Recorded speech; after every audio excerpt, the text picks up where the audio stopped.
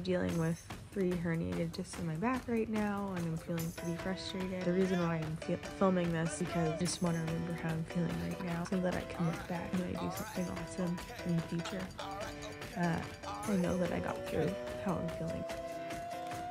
Return to the Mac, get up what it is, what it does, what it is, what it isn't. Looking for a better way to get up out of bed instead of getting on the internet and checking a new hit me get up. First shot, come strut walk